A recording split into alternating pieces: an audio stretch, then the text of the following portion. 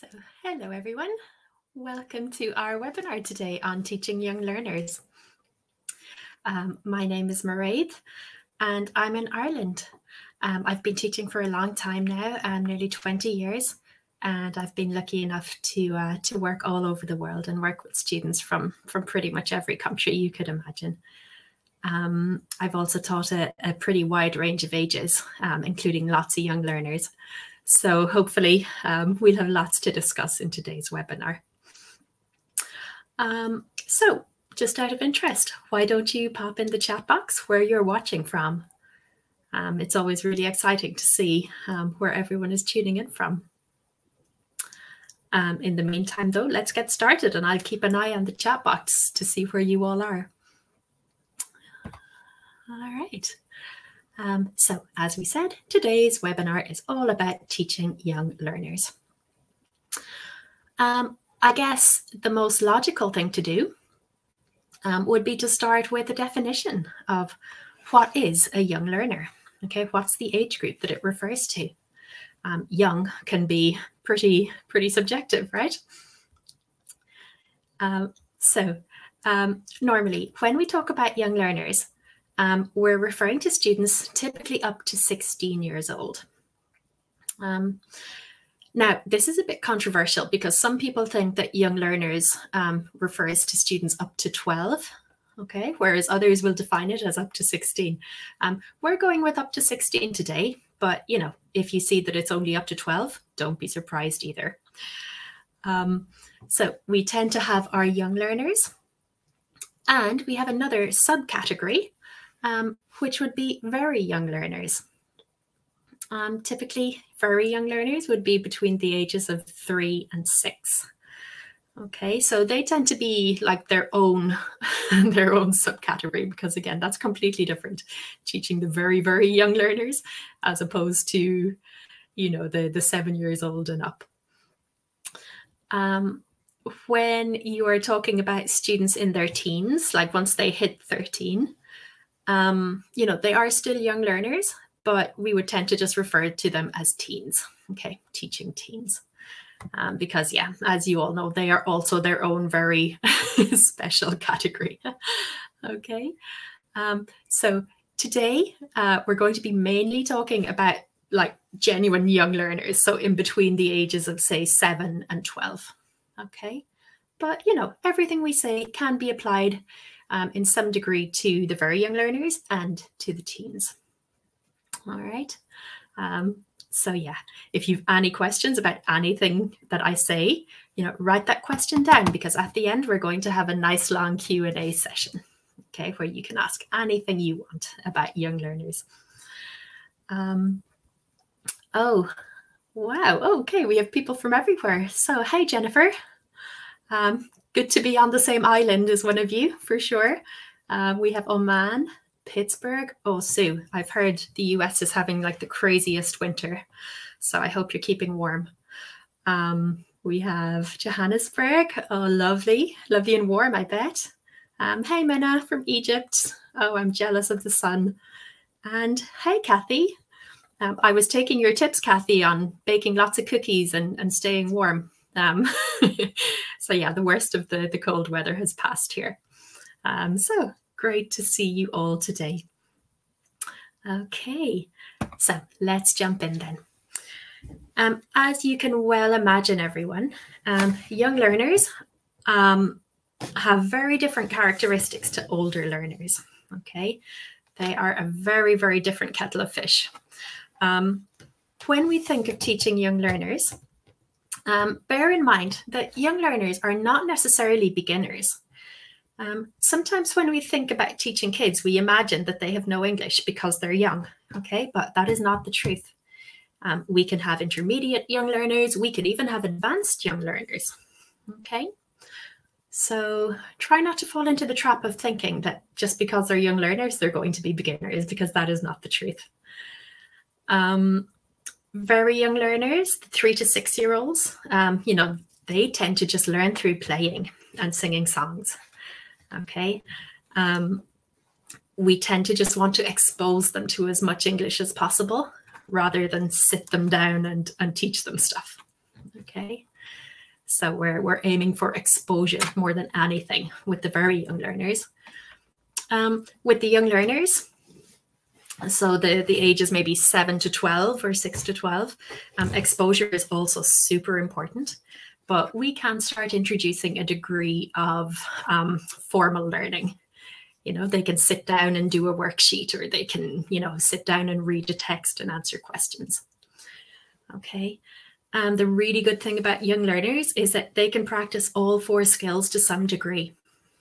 So you can start with the the speaking the listening yeah the the reading and writing okay um, i think reading and writing is the real difference between the very young learners and the young learners all right, so you can definitely have a little bit more variety when you hit the young learner stage. Um, so, as I said, teaching young learners is a whole other ballgame to teaching adult learners. Um, let's talk about why. Um, young learners have a much shorter attention span Okay. Um, I think this is the understatement of the decade. um, they can't focus on one thing for too long. Okay. Their brains just aren't wired that way yet. Okay. Um, young learners are far more energetic. Okay. Um, whereas your adult students are happy to sit there and just take it in, you know, young learners, not so much. Okay. They need to be moving at all times, it seems. Um, young learners are much more emotional. Okay. They are likely to express big emotions. Okay. Everything is extreme. Okay. Extreme excitement, extreme um, energy, yeah, extreme happiness. Um, but also, you know, sometimes they cry, sometimes they get extremely angry, sometimes they get extremely sad. Okay. So don't be alarmed if if you if you get a lot of emotion coming from your young learner class. That is totally normal. Um, young learners are more in need of entertainment. Okay. So when we're planning our lessons, we've got to try and build in fun stuff. You know, um, that's not to say that the entire lesson needs to be a sequence of, you know, games, fun. Yeah. Um, we don't want to go to that extreme either, but you know, do try to build in some some periodic fun um, into your lesson. Um, young learners, I find they're far more demanding of attention and praise. Okay, they want to know that you've noticed them um, doing something good. Um, even sometimes doing something bad if they feel that they're not getting enough attention you know they may they may act out slightly just to get some um, so yeah be very be very generous with your attention and with your praise okay where warranted um, I would also say that young learners are less self-motivated. Okay. Um, you know, whereas your adult students will think, okay, I'm paying for this class. This is my chance to improve. Let me very consciously focus. Um, kids, not so much. Okay. Um, they will work hard, but they will generally do it for attention, for praise, or for reward. Okay, so bear that in mind. The psychology is completely different um, bearing all these things in mind um, is really important when you plan your lessons. Um, when it comes to classroom management or keeping control of your class or setting up your class in a way that's conducive to learning, um, there are certainly a couple of things you can do okay to ensure that your your classroom runs smoothly um, I would say, everyone, with young learners, the most important thing is to establish classroom rules very early on. Okay. Um, we've got to go in with a plan um, because if any of you who have ever worked with kids or if you have kids yourself, um, you'll know that kids will push the boundaries. Yeah, they will test you. If they find any little loophole at all, they are going for that loophole. Okay. Um, not out of any malice. yes, certainly not. It's just the way they're wired. You know, their their brains are developing. They're they're just wired that way to try and push boundaries and try to get away with um, as much as they can. Um, so we've got to establish our classroom rules like immediately in the first class. Okay. Um, the longer we try to um, impose some rules, the harder it will be. Okay. So I know it sounds like very strict and maybe a tad draconian, but um, trust me, we want to get in there with our rules, okay, from the very first class. Um, the best way to establish the rules, I find, um, is to make a classroom contract with your young learners. Okay, so get a nice big sheet of paper and um, put it up on the board and you know ask your learners include them in the process. Um, ask them what do you think um, i want you to do in this class? Or or how do you think we should behave in this class? Okay? Um, because believe me kids know the rules. Okay? They already know what they're meant to do.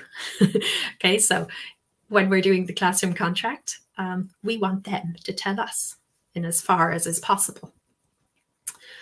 Um, so, you know, you'll have all of the usual rules like um, please speak in English, okay? Um, put your hand up if you want um, to ask a question, okay? Um, be nice to each other, okay? do your best, yeah? you know, all the universal rules of any classroom anywhere in the world. Okay, that's what we want to establish. Um, when you're talking about rules, um, it's really important that you tell them what to do rather than what not to do. Um, it's just a very interesting thing psychologically. Like, um, you know, instead of telling your kids, don't speak Spanish or don't speak um, Arabic. Yeah. Instead of saying that, tell them what to do. So speak English. Okay. Speak in English with the teacher or speak in English with your classmates. All right. Um, or, you know, instead of saying don't um, speak when the teacher is speaking, you know, frame it differently, such as listen to the teacher or raise your hand if you have a question. Okay. Um, it seems like a small point, but believe me, it makes a massive difference um, telling the, your young learners what to do rather than what not to do. Okay. Um, and then, of course, you can add in any other rules that, that the kids don't say that you want to be on the contract. Okay. So um, I always had a rule, for example, um, take off your jackets and put them on the back of your chair when you come to class um, because otherwise, you know, the kids were coming in and they were wearing their big jackets, and you know, we'd start the class and they'd be like moving their arm, and their jacket would sweep everything off the table, and it'd just be carnage. so, you know, once you've elicited all the rules that you want, you know, you can absolutely add in your own then. Okay. Um, because it's a contract, um, once you have all of the rules written out, um, sign it. Okay. You make a big show of signing the contract as the teacher. Okay. Like you are going to uh, follow the rules too. And then just invite the kids up. Yeah. Let them pick a nice colored marker. And, uh, you know, the, everybody can sign the contract on the bottom. Okay. Um, kids take that su super seriously. okay. And as the time passes, if, you know, one of your learners does something that breaks the rule, all you need to do is point to that contract on the wall. Say, oh, remember, you signed this. Yeah, you said that you would speak English. Okay. So, you know, it just gives you a, a little bit of extra leverage when it comes to reminding them to follow the rules. Um, the contract is like a living thing. yeah, it's a living organism. Um, so if you find that, you know, in week two or in week three, a new problem arises, you know, by all means, add the rule to the contract. Okay. It's not like it's set in stone on the first day. Okay. You can add things in. Um, if something stops being an issue, yeah, you can cross it out. Okay. Um, you can have a little crossing out ceremony Um, I used to do this with my kids all the time. I'd bring them up to the contract and they would each um, scribble out one letter, like they'd cross out one letter. Um, or they'd transform the letters into little pictures or something. Um, it was really nice for them to just like get rid of a rule because they were behaving so well. Um, that said, if it becomes an issue again, by all means, re-add it. okay. Um, so yeah, just keep the contract relevant. Um, keep it ever changing. Um, if new kids join your class during the year, you know, let the older students, um, the students who've been there since the beginning of the year, explain the contract. Okay, just give them as much ownership over it as you can. Um, when it comes to um, applying the rules and you know keeping that discipline in the classroom, um, it's really important that you're consistent and that you are very fair. Um, as you, any of you who have worked with kids or have kids know, kids are very into fairness. Okay, and you know they get very offended and very angry if they feel like they're not being treated fairly, um, which is absolutely great. I mean, you know, but we want to encourage that. We want them to uh, to expect fairness. Um, so yeah, just you know, avoid treating um, individual learners differently. Okay, you know, it's hard sometimes. There are students that we're more drawn to than others, but we can never let that show. Okay, we've got to be consistent. We've got to be fair. Um, if you can, focus more on good behavior than bad. Okay. Um, again, psychologically, um, it's far more favorable for the kids to uh, to want to behave well. Okay. Um, so if you see anything that they're doing really well, you know, praise them for it and say, I notice, yeah, I saw you sitting down quietly doing your coloring. Okay. I saw it and I noticed, and you did really well. Um, you know, we want them to want to behave well. Okay. Um, over time, praising good behavior um, can be far more effective than punishing bad behavior. Okay. Um, when it does come to bad behavior, though, you know, it happens. Kids are kids, and with all the best will in the world, um, sometimes they can step out of line. Um, so it's really important that you are clear, that you are crystal clear on the consequences you can apply to bad behavior. Okay. Um, so what I mean by this is before you start um, teaching in a, if you're teaching in a school, for example, before you start, um, you know, talk to your director of studies and find out what are you allowed to do if you need to um, to address bad behavior. You know, some schools will allow you to send the the misbehaving child to another classroom for 10 minutes. Yeah. Um, other schools will not. Okay, some schools will allow you to send the child to the secretary's office or to the director's office, um, but other schools will not. Okay, um, some schools will let you um, give your kids extra homework or do lines as punishment. Um, some will not. Um, that said, though, I would never use homework as punishment. Okay, um, they already have enough of a, a negative attitude to, towards homework. We don't want to turn it into even extra punishment. Um, you know, some schools will have rules on contacting parents. Okay, like if a child does something, um, you know, very disruptive in class, are you allowed to call the parent or do they have like a warning system where the kid needs to misbehave like two or three times before you can call the parents? Okay, this is all stuff, okay, that you have got to get clear in advance um, because we can absolutely not tell the kids that something will happen um, if we can't enforce that thing. Okay. Um, in terms of um, consequences I used to use all the time, um, I used to, uh, well, at the begin, let me explain the process. Um, at the beginning of class, um, I used to write all of the learners' names down the side of the board or if they were tall enough and if they could write well, um, they would just come in and write their own name down the side of the board. Okay, um, then I would draw a circle next to each name. Okay, and then begin the class. Yeah, do our normal things.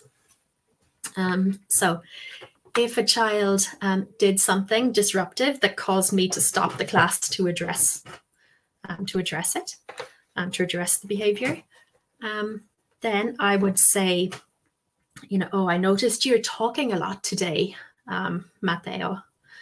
Um, remember what we said about um, not speaking when the teacher is talking. Okay, so we tell them verbally that we've seen it and then I would write, I would draw like a little dot in the circle next to Matthew's name. Okay. Um, so it's kind of like a visual reminder that, you know, they have been noticed um, being disruptive. Um, then if Matthew did something um, disruptive again, you know, I would stop and I would tell him again, like Matteo, remember I told you um, that you should listen when the teacher is speaking. Um, you know, please now, please remember, listening ears, Matteo.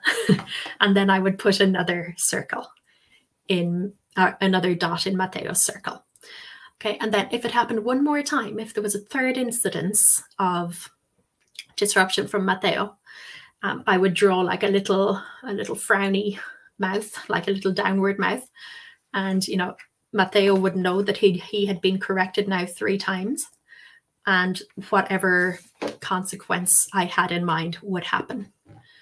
Okay, so I would say, "Oh, Matteo, look, you have you have three, um, you know, you have three strikes now, or you have your little sad face.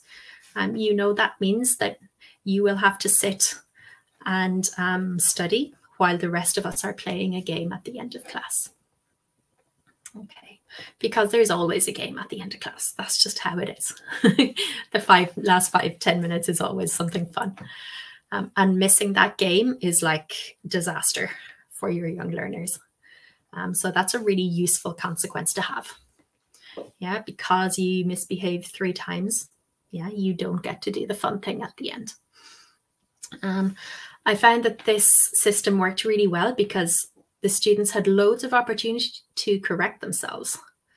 Yeah, like Matteo could have stopped after he got his first circle or his first dot. He could have stopped after he got his second dot. Okay. Um, and you'll find that kids, you know, once they know that you know what they've done and they have one dot on their circle, um, you know, they can self-correct. And that's ideal.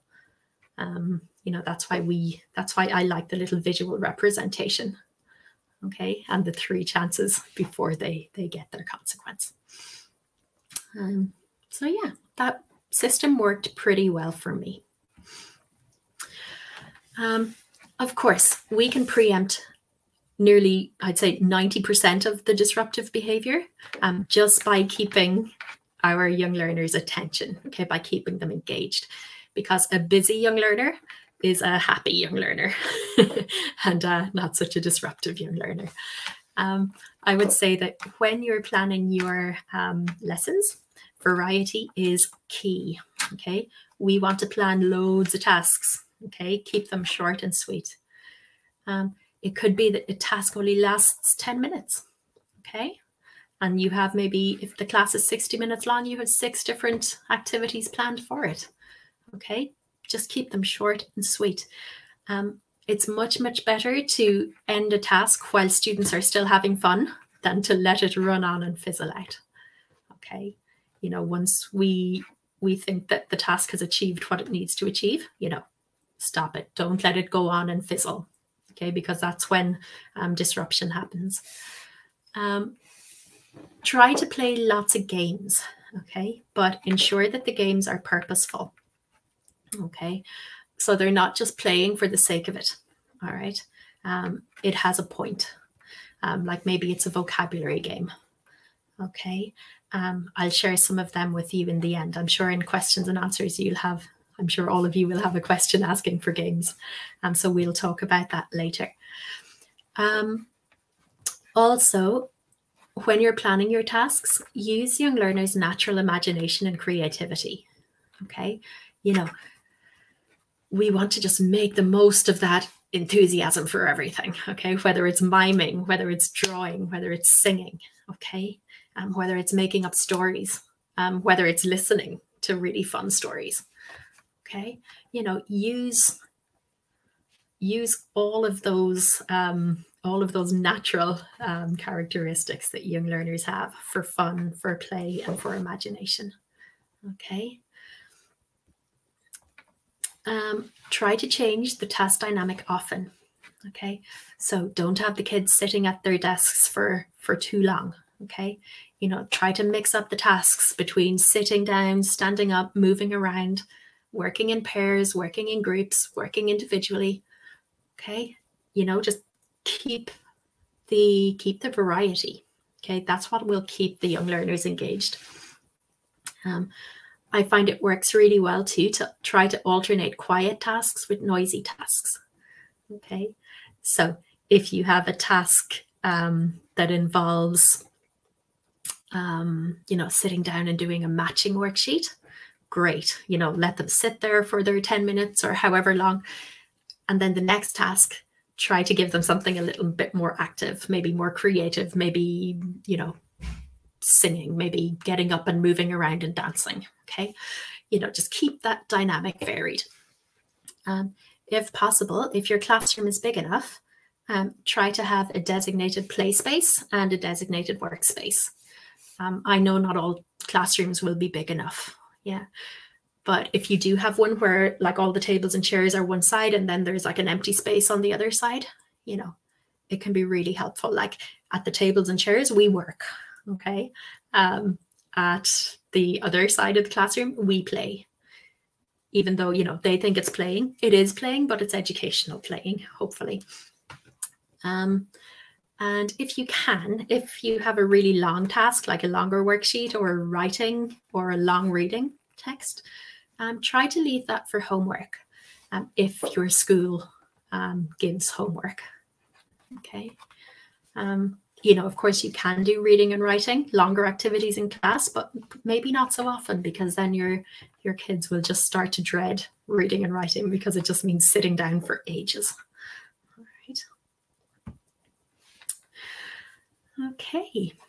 So when it comes then to sourcing materials for young learners, um, try to use visuals whenever possible. Okay, visuals are a win yeah, pictures, flashcards, drawings, etc. Okay, um, there's a lot of material online um, if you search. Um, don't assume that just because it's online that it's it's correct or it's beneficial. Okay, so read worksheets you find online thoroughly in advance. Um, you know, check for typos, check for level of difficulty, um, ensure that the content is age appropriate. Um, so yeah, you know, when you're taking stuff from online, just preview it really thoroughly before you use it. And yeah, if you are designing your own materials and worksheets, keep images and font appealing and colorful. Okay, if it looks nice, they're more likely to pay attention to it. Um, try to use realia as much as you can. Um, by realia, we mean real objects. Okay, so if you're studying food, for example, um, you might bring in like a little bag of shopping, like you might bring in a banana, an apple, an orange, okay, um, a packet of rice, etc. Um, you know, a real banana will be much more effective than a picture of a banana, okay.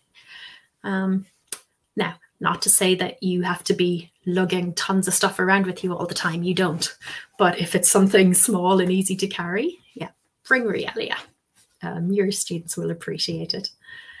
Um, as well as that, try to use videos and songs as much as you can. Okay, audiovisual means are amazing here. Um, always try to have extra activities as a backup. Yeah. Um, so of course you'd plan all of your tasks for the lesson. Yeah. But always over plan. Always have just one or two more tasks just in case. Okay.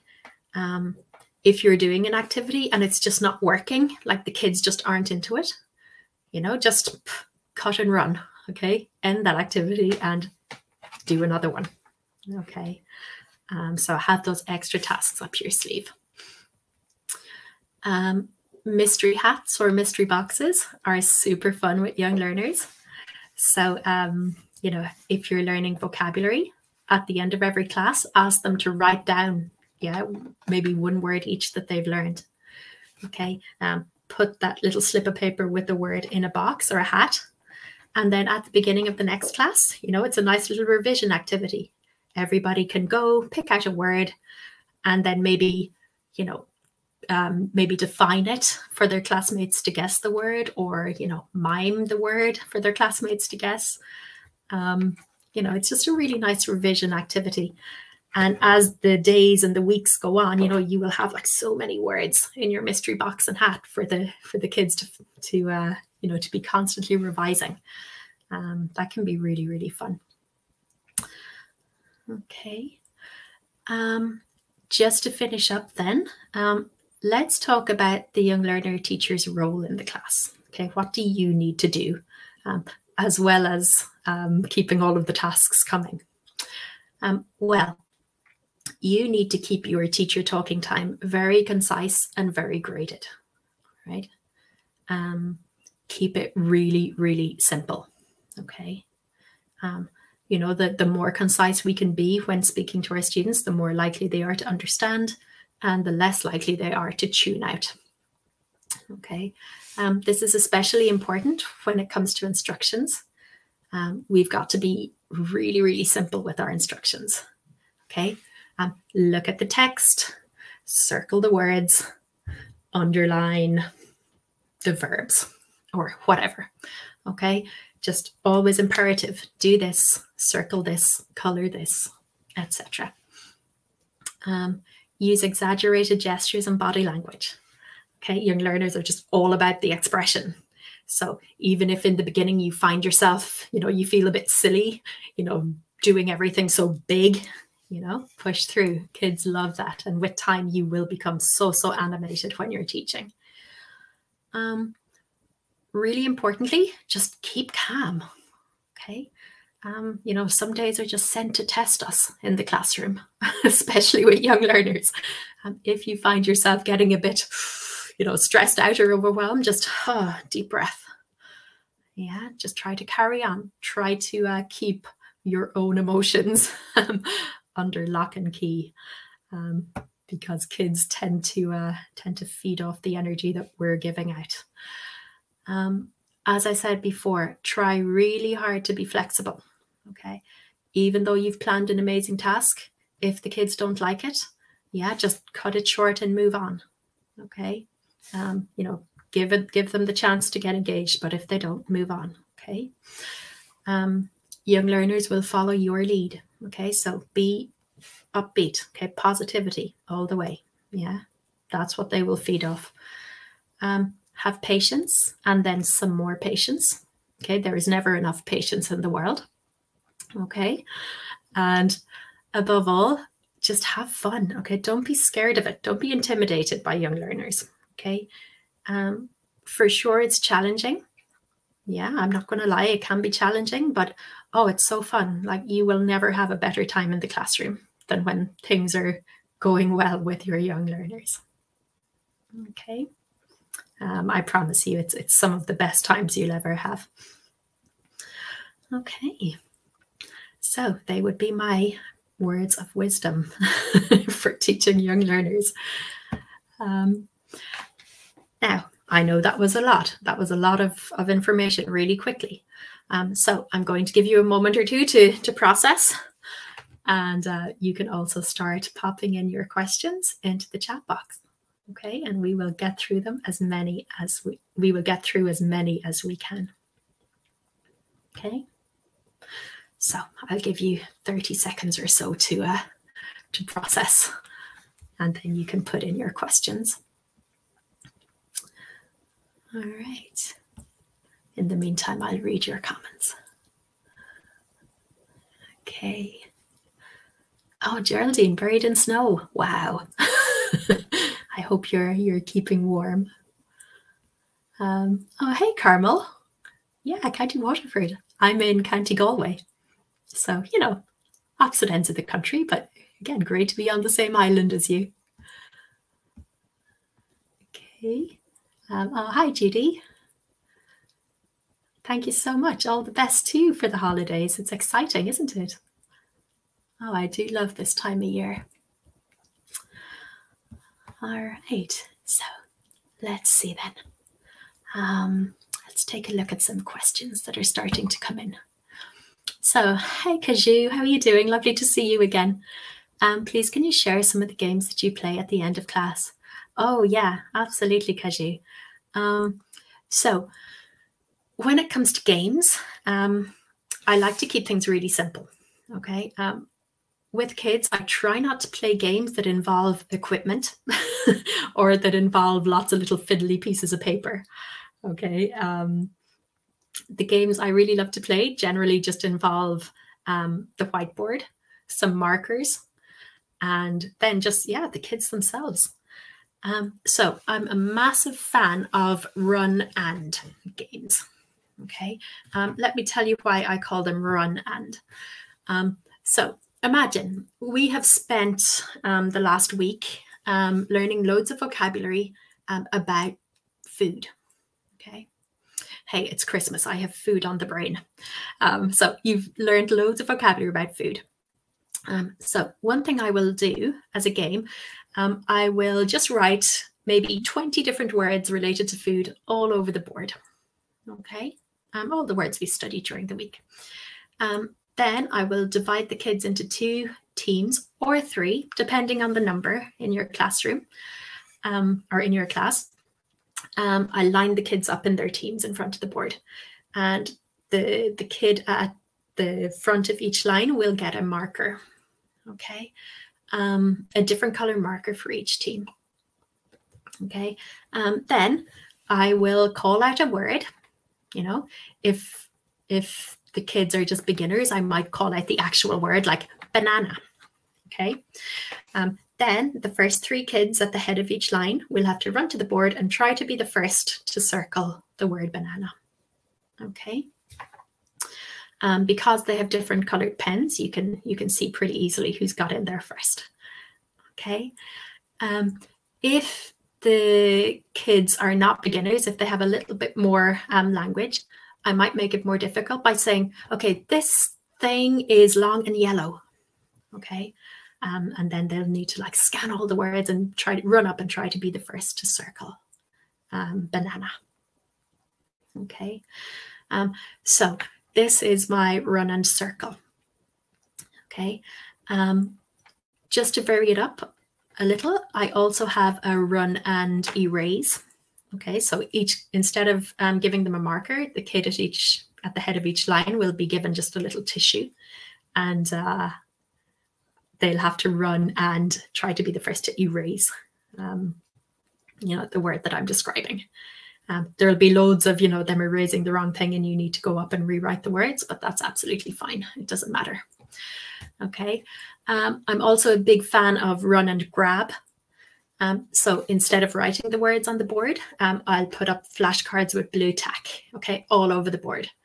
And again, the kids at the front of the line will need to run up and try to be the first to grab the flashcard.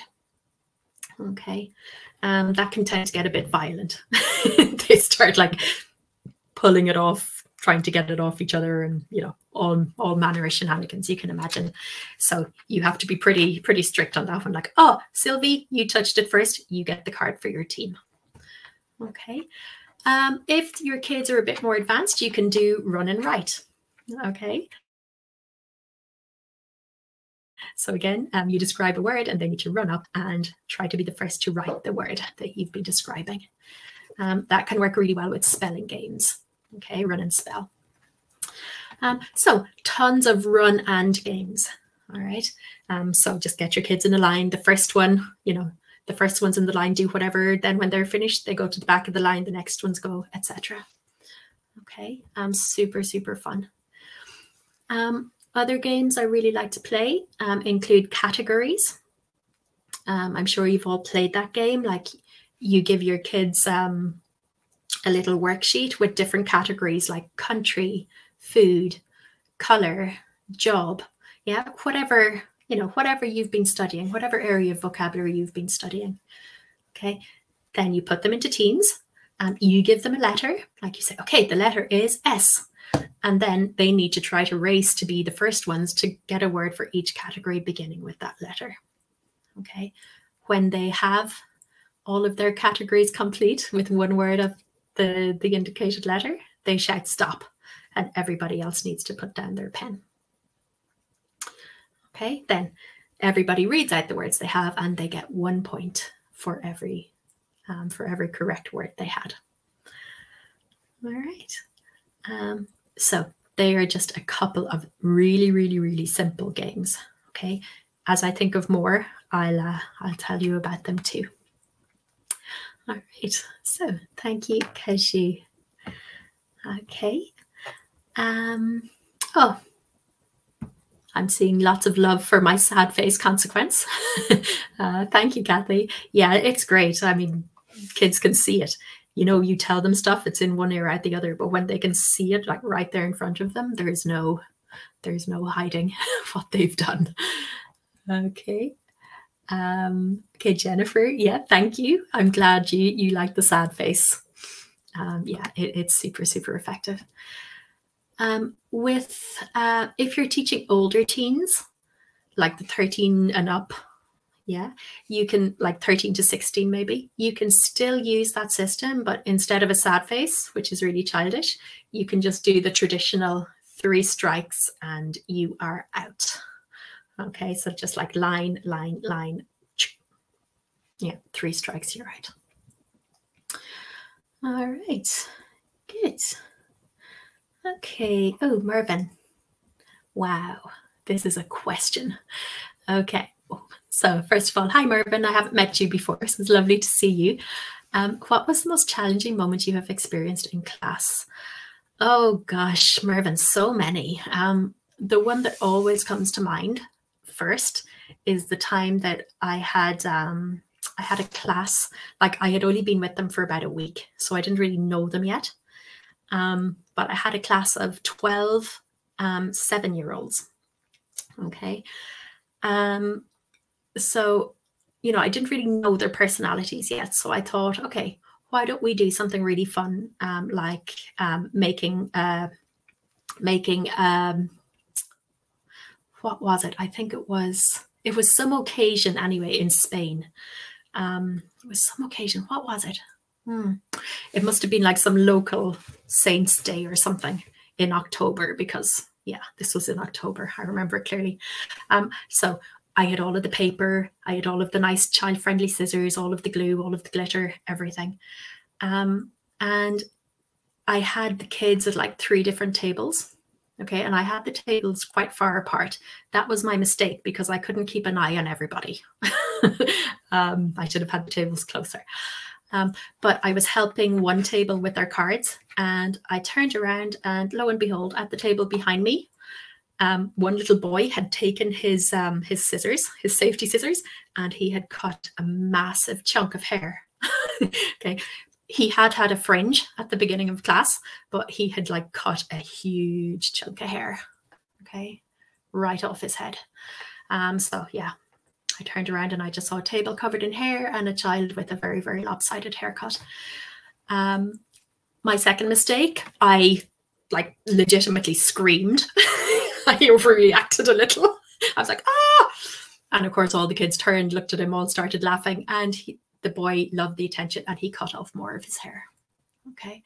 So it, it took me a minute. Okay. Um, I just said, okay, everybody, scissors down, pens down, hands down. okay, just stop moving, stop screaming, stop doing stuff. Okay.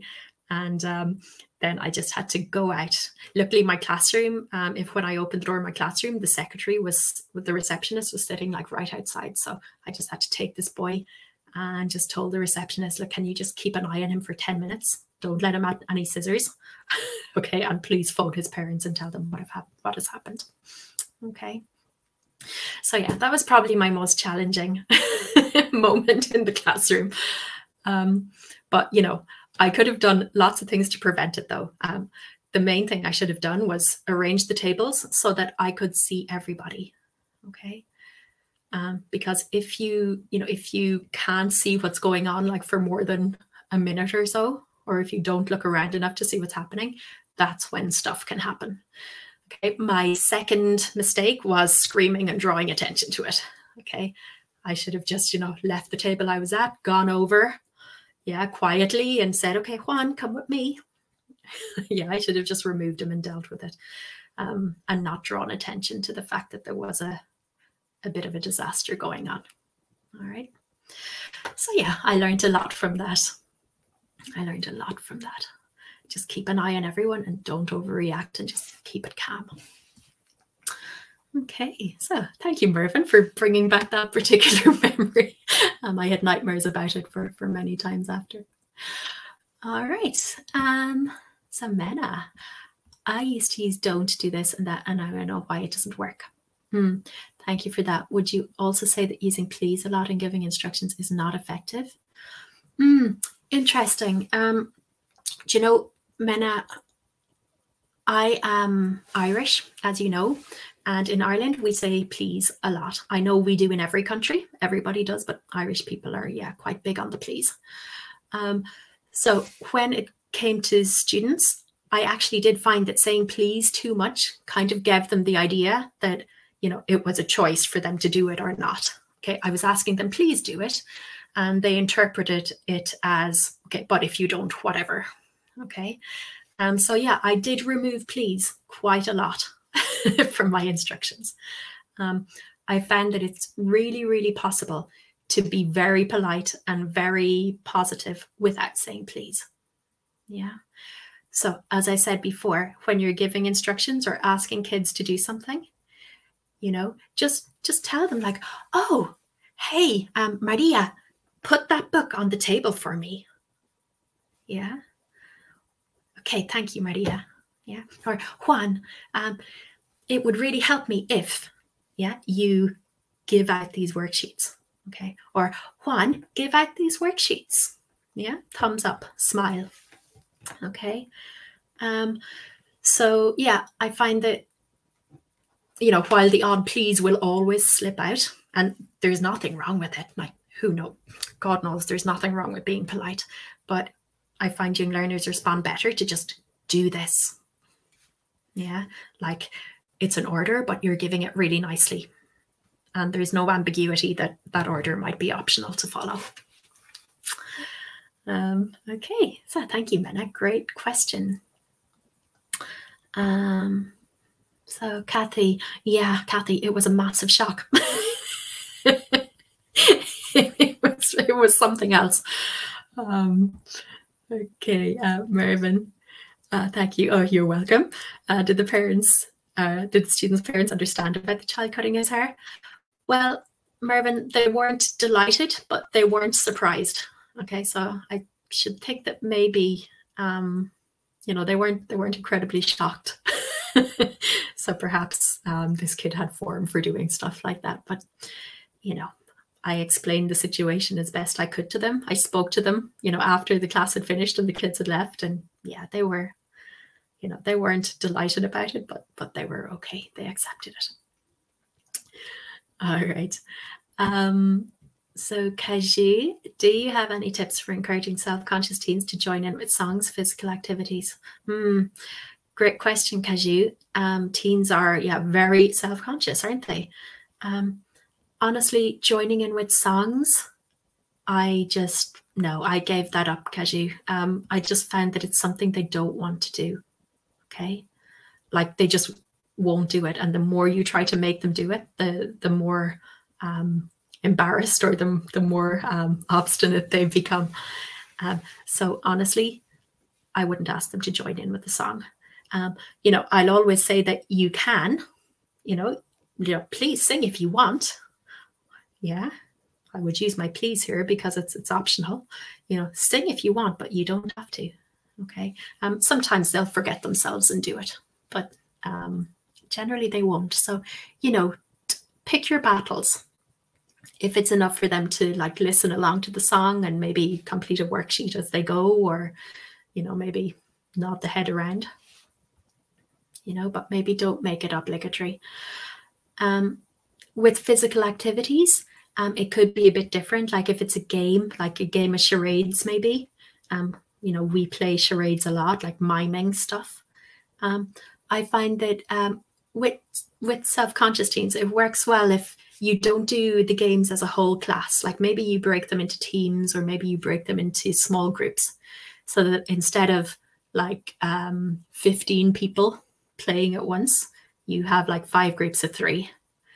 Um, with five groups three, you know, there will be so many people doing so many things that nobody will be looking at any of the other teams, okay, because they'll be concentrating on their own team. Um, so, you know, doing activities like that in groups or in teams is much more effective because the, the self-conscious kids don't feel like they're being watched by everyone. Okay.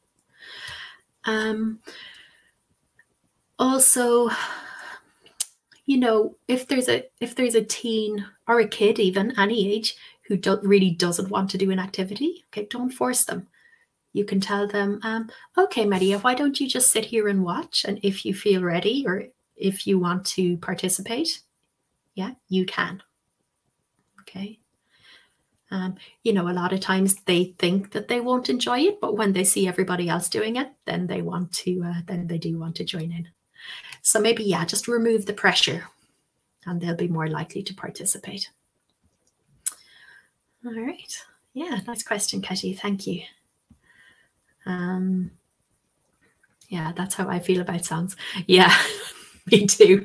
Me too. I, I was never a fan of the forced uh, singing, but uh, if given a chance, I would I would probably join in once everybody else had started.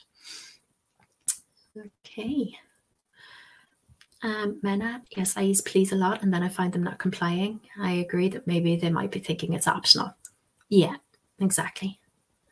So, um, yeah, I think yeah, I think like there are lots of ways to convey please without, you know, constantly saying please. Yeah.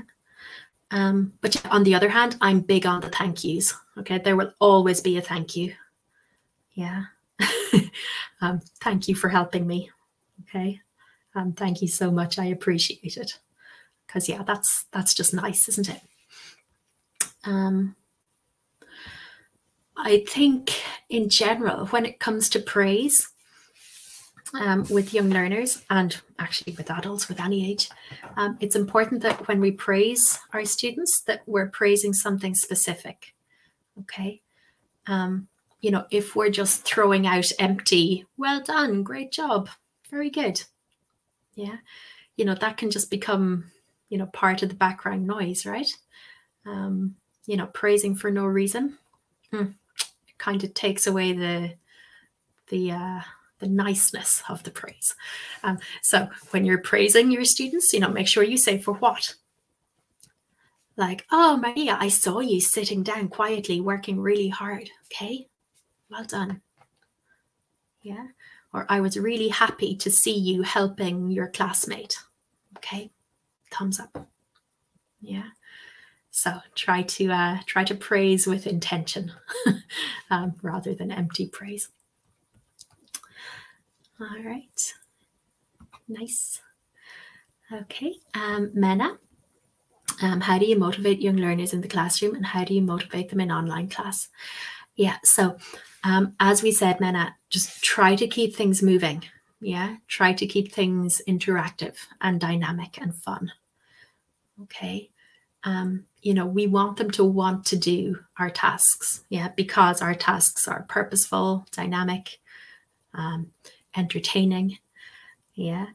Um, it could be they're motivated because they know that there's going to be something fun at the end of class. There's going to be a game. Yeah. Um, you're going to sing a song. You're going to do whatever. Okay. So, you know, really it's about playing the long game with them and just creating that atmosphere, like that dynamic atmosphere um, to your lessons. So, you know, they know that even if, okay, now we're reading a worksheet and answering questions, and that's not the most fun thing, but I know that soon, yeah, we're going to do something different. Yeah, and we're going to do something fun at some stage in the class. Okay. Um, I know a lot of teachers use reward charts. Okay. Um, and, you know, that can work depending on your class. So like at the end of the class, you know, you will give stars or draw, you know, draw smiley faces or give stickers or something. Um, if you do go down that route, I would definitely say to keep your reward chart very, um, very behavior based or very effort based rather than outcome based. Okay, because we don't want our reward chart, you know, to become about, you know, how um, how clever or how accurate or how fast somebody or how many answers somebody knows. Okay, we do not want that under any circumstances. Um, instead, we want to focus on things like the effort the kid has made, how well they have behaved, etc. Okay. Um, in online classes, I guess the same, you know, just by keeping up that that pace, you know, changing tasks, um, praising their effort, yeah, praising intentionally. Yeah, you know, if they're in breakout rooms, pop into the breakout rooms, try to spend some time with them individually or in pairs of two, or in in pairs of two, in groups of two or in pairs. Yeah, you know, just be there, just be present. Let them know that you're you're paying attention to them and you're noticing what they do. All right. So thank you, Mena. Great question. Um, so Kathy, how do you determine what the expectation should be for how much they learn or how fast they should be progressing? Is that laid out in the school's curriculum? Will it come with experience? Oh yeah, Kathy, good question. Um, this is generally a school thing. Okay, so if, for example, you join a language school um, as an ESL teacher, um, you'll probably have a course book to follow, and the school will have their curriculum. Like, um, okay, week one, um, you are going to cover pages um, two to five yeah, of the course book.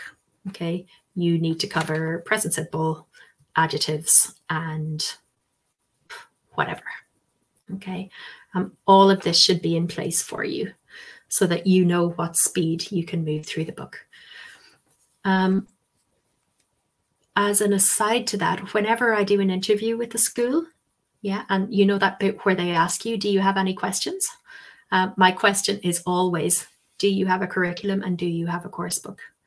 Okay, and if the answer to those questions is no, I do not work there.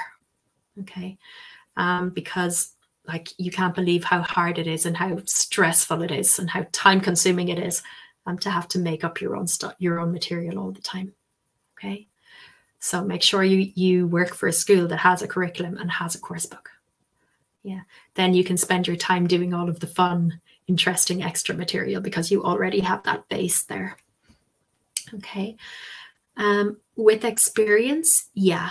With experience, you definitely learn a lot about that. Like there are things in course books and you start to notice like oh no i'm not going to do that okay?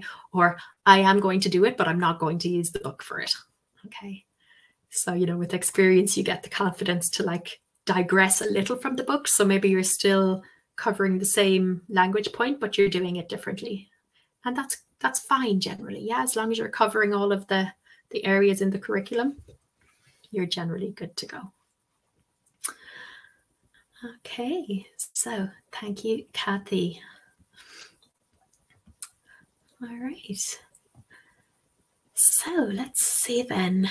Um, so Mena, yeah, yeah, I know. I was also a praiseaholic when I started. I thought that praise was the way to their hearts, um, but it wasn't.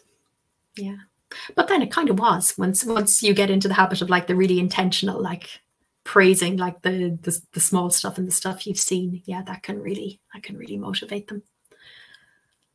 Okay. Um so oh my goodness guys we only have 30 seconds left. Wow. Okay let me do a quick um, run back through the comments and just make sure i haven't missed any sentences or any questions. Um, Okay, I think we have everything. All right. Um, yeah, so that seems to be it, everyone. Um, thank you so much for keeping me company for the last hour. Um, it's always an absolute pleasure. Um, and hopefully we will see each other in the new year. I know we have lots of really fun webinars um, lined up for, for January and February. So um, I'm really looking forward to seeing you all again. Um, as always, um, I am going to ask you to fill in our end of webinar survey. Yeah. Um, as you know, as teachers, we are always looking for feedback. Okay, we're always looking for ways that uh, we can improve. Um, so it would be really, really great if you could take some time to um, fill in our survey. Um, I'll also post the link in the chat box now. Okay, so I guess all that's left for me to do is to wish you all a really, really wonderful Christmas holiday season, um, however you're going to celebrate it. Yeah, I hope you get in lots of really good food, lots of really good relaxation, and that, uh, yeah, that you all have a wonderful new year. All right, so see you all soon, everybody. Bye.